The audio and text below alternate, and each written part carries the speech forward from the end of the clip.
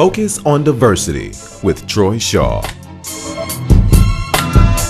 And welcome back to the program. Welcome to our Diversity News Forum. You know, you were really about to go off there for a minute, Rich, but I'm gonna let you. I'm gonna let you chew on this one right here. You know, it's very, very interesting that African American conservatives are always deemed as people who are not what they are, African American. They have, literally have their race stripped from them when they are conservative and black. What do you have to say about that, Rich? I, I, I, think you're right. I see that. If, if, an African American who comes out in a conservative position uh, very often gets attacked as not really being African American. Condoleezza Rice, uh, Colin Powell. Colin Powell, you know, those, those, those are very good examples. Recently, uh, there was somebody in Milwaukee on, on black radio, on the, on the radio station that they were attacking. And I, I oh, oh, yeah, oh, I'm going to attack him okay. later on. But well, I, I, get that And it's a shame because the fact of the matter is, some of these issues are not race issues. Mm. Some of these issues are just living in Milwaukee issues and what's best for Milwaukee. Whether you're Hispanic, Hmong, black, white, it doesn't matter. It's just an issue. Mm. And, and race doesn't necessarily have to come into it. But people always want to wrap race around every issue. Mm. And sometimes it just isn't there. What do you think about that, uh, Tim? Well, actually, and I think it would be helpful uh, if that philosophy were carried through into the political environment because I think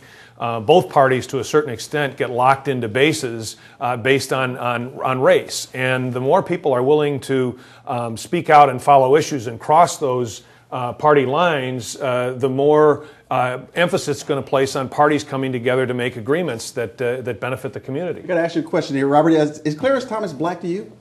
Clarence Thomas is a black man. Okay, okay. But he's a conservative in political ideology. Eh, oh, eh, yeah, oh, yeah so, and, and, so, so does that make him any less black? It, it, shouldn't make him any less black. However, you know, there are questions as to the conservative political agenda as opposed to the progressive political agenda, as opposed to the liberal progressive agenda. And these agendas all combined have certain elements that benefit certain but they do not trump race i mean here's no they do not they do not race. and they should not right. trump race and they will never trump but that race is the democratic the bottom line is skin color in milwaukee does matter mm-hmm. and in, in the journal sentinel this week you had this big front page about lee holloway and then in the metro there's this front page about Scott Jensen. Mm-hmm. I think Scott Jensen should have been in the front, uh-huh. and Lee should have been in the metro. That is indeed. That Except that Lee's new news and Scott's old news. Well, Scott also and, and also represents news, news that possibly is going to be happening in the future, and that there could be other legislatures involved in this whole scandal that occurred in Madison. I think it's so very, it, I think it's it, very, very interesting, though. It, brings an issue of race into the element again, and those kinds of things continue to permeate in our society. Well, what do you think, Rich?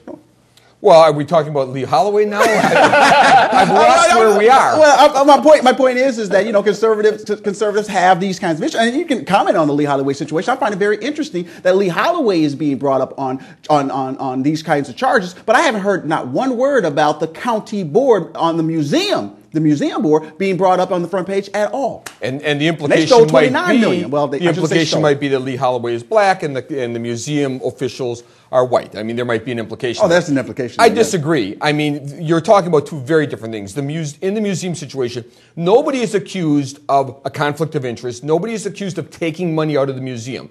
The accusation there was money improperly used within the museum, endowment fund money used for operating. In Lee Holloway's situation, and, and let's, I want to make this real clear too. Please, please. Lee Holloway has not been found guilty of anything. Of anything. And in this country, a man is innocent until proven guilty. He has charges against him, but while he, uh, until he's found guilty, he has a right to hold his seat unless the county board removes him. And there's a lot of criticism. He should step down and everything else. He has a right for what he's doing.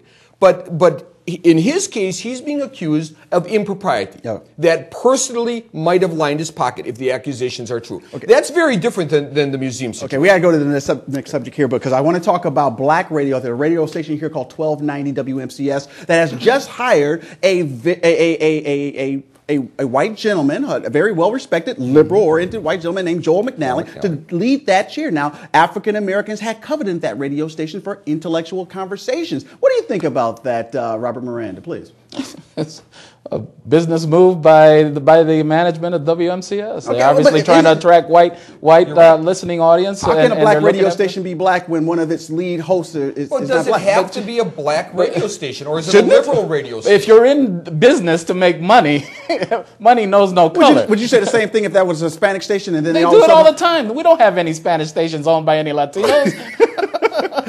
do but, I think in this case, this is a, a radio station that up until this point has catered to the African American community. I don't think you just need African Americans to speak to the African American community, but since the shoe is always put on the other foot, I'd certainly raise the question since this is a key morning uh, radio spot mm-hmm. that they couldn't find somebody else to fill that spot. Exactly, gentlemen. Community. That is, they could not find, excuse me, the management over there at WMCS, you couldn't find one African American that could do this job. That is a poor testament of fairness, their efforts. Joel McNally is very qualified. Oh, he's qualified. And, and and he's and he does have a liberal point of view. Liberal, oh, God, he's ultra liberal. I know. Okay, just to the left of Mao Zedong. Does that make but, him any less white? well, and, and, and there we go. But I mean, the beauty of radio is radio. when you really come down to it, the beauty of radio is in a lot of cases, you don't know what the color of the speaker is. Okay, no. most people don't realize that Mark Belling is black and that Charlie Sykes is Hispanic. No, I'm okay, kidding. Come on. I'm kidding. They aren't. Um, but I mean, in, you're talking radio. Okay, does it really matter the color of the person? In, in, the case of this radio station,